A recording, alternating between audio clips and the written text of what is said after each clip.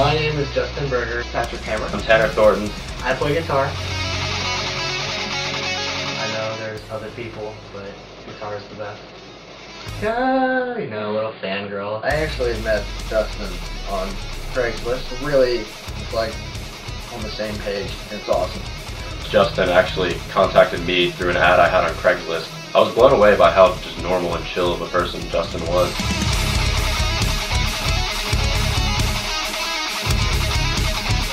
I get home from school, and that's what I do is I practice and I practice and I practice basketball. And then messed up my knee, and I couldn't play basketball. So I'm like, okay, well I'm stuck inside and I can't do anything. I gotta pick up something, you know? So um, my stepdad had like an old left-handed guitar, and I'm not left-handed, and it was a terrible idea. But I picked it up and just like, ah, whatever, learn a few things here and there. And my dad gave me his guitar, and that's kind of how I just got started.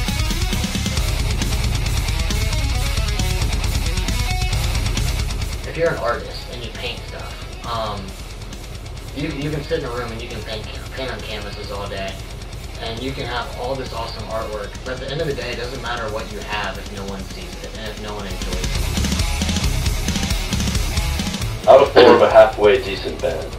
Honestly, there's probably not anybody good where you live. Hey, Grandma. Hello, Grandma. Such chicken berry pot pie. You have to choose what to be picky on, and sometimes location is one thing that you have to be willing to travel a little bit. It's a slow and painful process, but it's worth it at the end if you do it right. Yeah, take your time. Yeah.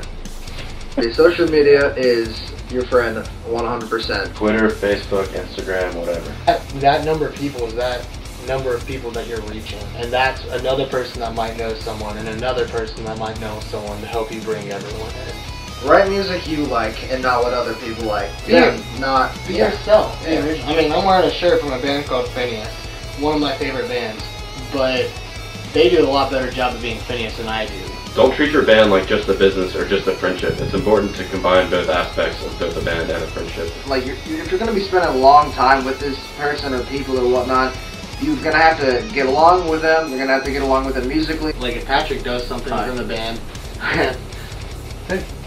um, but if Patrick does something within the band that I disagree with, and I think is giving a bad issue to the band, I have to address him. Yeah, he's my friend, and I don't want to call him out, and I don't want to hurt his feelings. But you still have that business aspect. You, I have to say, Patrick, you did this. I don't appreciate this because this is giving our band a bad image for this. And if he's really sincere about the band, he'll understand.